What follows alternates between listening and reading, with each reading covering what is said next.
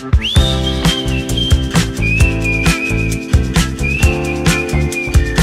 zijn zeven jaar geleden gestart hier met praktijklessen op verplaatsing. Ze leren in de klas heel veel uh, theorie, maar hier kunnen ze het in de praktijk echt zien, ook zelf eens uitvoeren. Het voordeel voor de leerlingen hier is dat ze een, uh, kunnen ervaren, vind ik dit leuk of vind ik dit niet leuk.